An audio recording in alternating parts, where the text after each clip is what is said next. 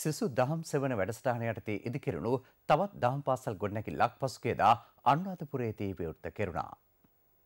කාටගස් දෙගලිය රන්පත්වෙල ශ්‍රීකමනු රජමහා විහාරස්ථානය ඉදි කළ මෙම නම ගොඩනැගිල්ල විවෘත කළේ එක්සත් ජාතික පක්ෂ නියෝජනායක අමාත්‍ය සජිත් පේමදාස මහතයි. මේ සඳහා රුපියල් ලක්ෂ හතලයක් වැය කර ඇති අතර විහාරාධිපති පූජ්‍ය කුමුක් පැවේ විමල බුද්ධ හිමියන්ගේ අනුශාසනා පරිදි ගොඩනැගිල්ල ඉදිකර තිබෙන බා.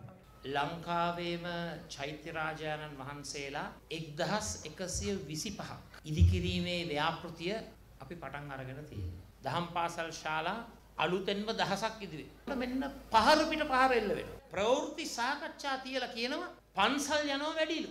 පන්සල් වලට උදව් කරනවා වැඩිලු. ඉතින් මේක මම අද ඊයේ පටන් ගත්ත වැඩක් නෙවෙයි. සසුනට අරුණ වැඩසටහන හරහා මම මේ වැඩ කටයුත්ත දශක කිහිපයක් මුළුල්ලේ ක්‍රියාත්මක කළා. මාසයක් දෙකක් නෙවෙයි.